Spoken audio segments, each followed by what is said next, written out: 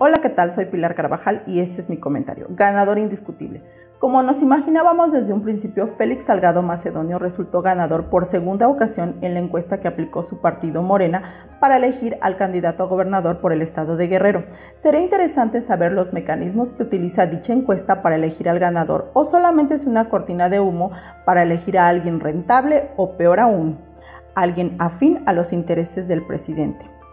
En un país como el nuestro que ocupa altos índices de violencia en contra de las mujeres de todas las edades y ratificar a alguien como Félix Salgado Macedonio acusado de violencia y abuso sexual solamente nos comunica un mensaje contundente para las mujeres y es que a la 4T no le interesan los problemas que nos aquejan a las mujeres de este país y menos la violencia imparable que vivimos.